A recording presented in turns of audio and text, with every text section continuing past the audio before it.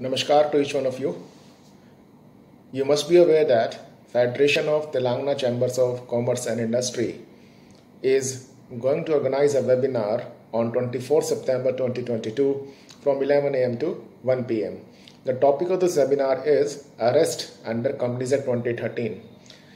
This topic is well thought of topic for a big reason. You must be aware that the basic objective of Companies Act is to ensure proper and good corporate governance practices.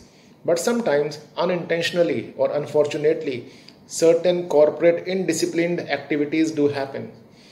Now, when these indisciplined activities do take place, there are provisions in Companies Act 2013 regarding penalties and prosecutions. This webinar will spread awareness about how to deal with, how to encounter with these penalties and prosecutions whenever these things do happen. I welcome you to this webinar and it is because of your cooperation only this webinar could be a grand success. Thank you very much. See you at this webinar on 24 September 2022.